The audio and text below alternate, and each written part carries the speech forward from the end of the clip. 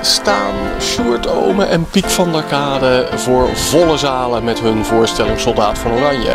Maar aanstaande maandag kiezen zij voor een veel kleinere zaal. Hoe zit dat? 525,600 minutes.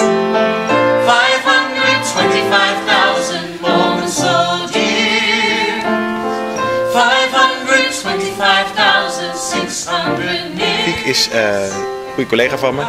En eh, die had het idee opgevat om een keer een klein intiem concertje te doen met piano en gewoon mooie liedjes zingen. Ja. En ehm, daar had ik wel oren naar, want dat, eh, dat vind ik altijd leuk om te doen. Aanstaande maandag.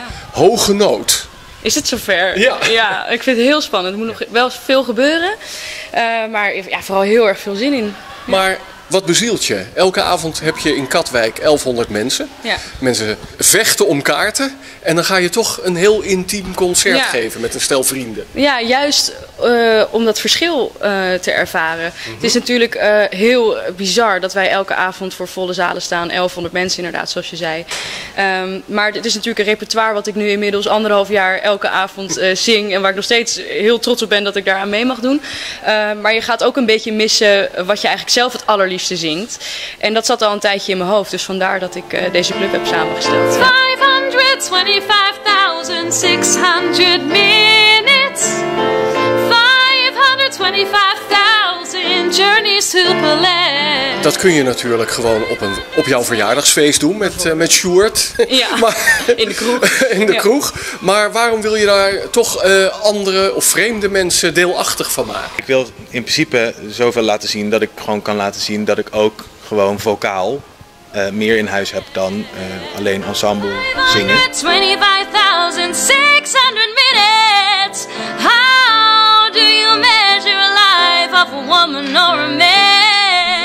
In denk ik ook om een soort stok achter de deur te hebben. Want ik heb het idee al langer in mijn hoofd. eh, en dan ga je bedenken in, in wat voor vorm kunnen we dat dan gaan, eh, gaan doen.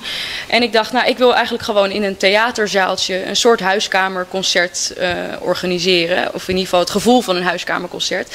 En zodra je dus inderdaad een, een zaal huurt, een pianist vraagt, kaarten gaat verkopen, dan moet er op die dag wat staan. En ga je het dus ook daadwerkelijk doen. Dus het is heel tof om te zien dat we nu binnen die paar weken dat we bezig zijn, dat er al ontzettend veel staat en geregeld is. Ja. En dat het ook daadwerkelijk gaat gebeuren. In truth that she learned, or in times that he cried, in bridges he burned, or the way that she died.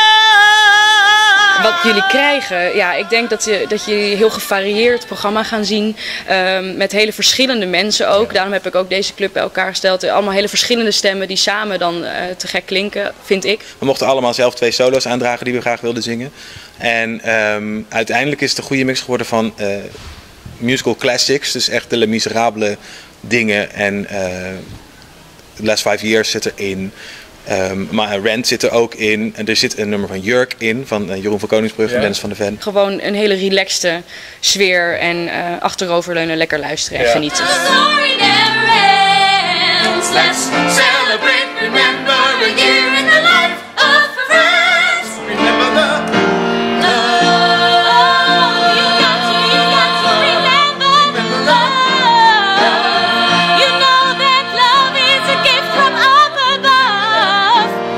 jouw hoogste noot in het programma? Wanneer horen we die vallen?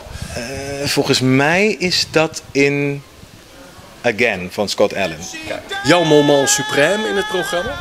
Eh, Wordt dat again, die hoge noot? Eh, dat kan. Maar het zou ook kunnen zijn dat eh, Bring Him Home een, eh, een, een gevoelig snaartje weet te raken. Dus dat, daar hoop ik heel erg op, want dat vind ik zelf fantastisch om te zingen. Dus Dat is ook hoog. hè?